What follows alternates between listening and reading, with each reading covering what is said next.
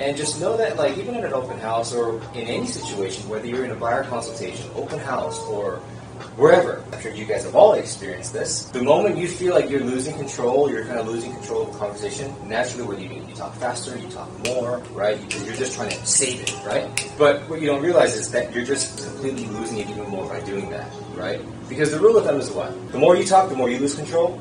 The more they talk, the more you gain control, right? So I'm asking them questions that'll get them to talk more. A perfect one that I use a lot, right? And it's almost universally exchangeable in every single dialogue, but it's just tell me more.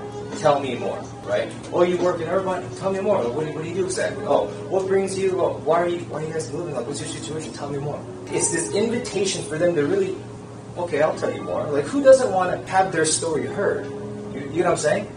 So by getting them to talk more, you actually gain more of that control, right? So as you're kind of engaging in these conversations, just think of questions that'll really kind of get them to talk more. One powerful one is tell me more, tell me more. Right? If they say something that's remotely intriguing, hey, can you tell me some more about that? Can you tell me more? Right? Provide that invitation to, for them to tell you more. Anything else that you like? Any epiphanies or anything you? Oh, just right now, the tell me more. Tell me more.